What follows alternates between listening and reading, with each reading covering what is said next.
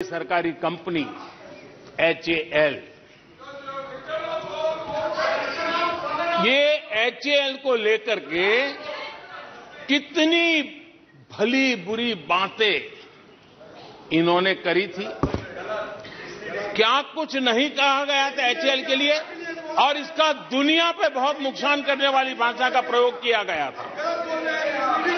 और एचएएल तबाह हो गया है। एचएएल खत्म हो गया है।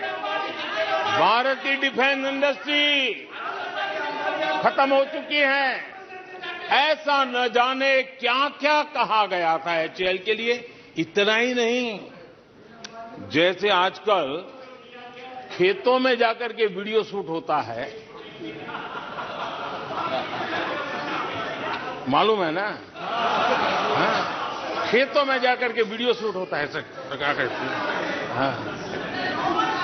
वैसा ही उस समय एचएएल फैक्ट्री के दरवाजे पर मजदूरों की सभा करके वीडियो शूट करवाया गया था और वहाँ के कामगारों को भड़काया गया था अब तुम्हारा कोई भविष्य नहीं है, तुम्हारे बच्चे मरेंगे भूखे मरेंगे एचएल डूब रहा है।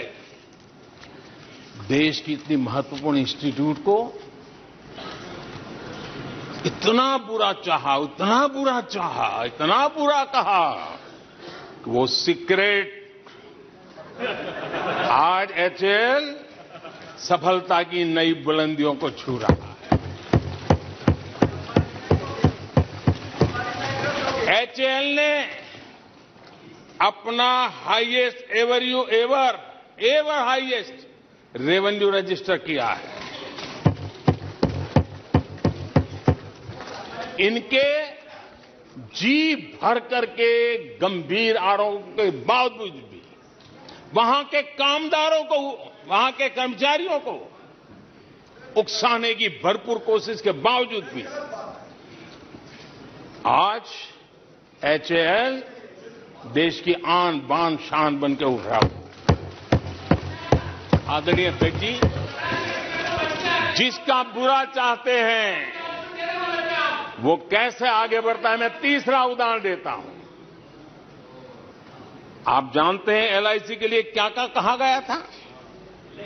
एलआईसी बर्बाद हो गई, गरीबों के पैसे डूब रहे हैं। गरीब कहाँ जाएगा? बेचारे ने बड़ी मेहनत से एलआईसी में पैसा डाला है। क्या कहें जितनी उनकी कल्पना शक्ति थी, जितने उनके दरबारियों ने कागज़ पकड़ा दिए थे, सारे बोल लेते थे वो। सारे बोल लेते थे। लेकिन आज एलआईसी लगातार मज़बूत हो रही है। शेयर मार्केट में रुचि रखने वाले को भी ये गुरु मंत्र है कि जो सरकारी कंपनियों के लोग गाली देना, आप उसमें दांव लगा दीजिए, साहब अच्छा ही हो जाएगा।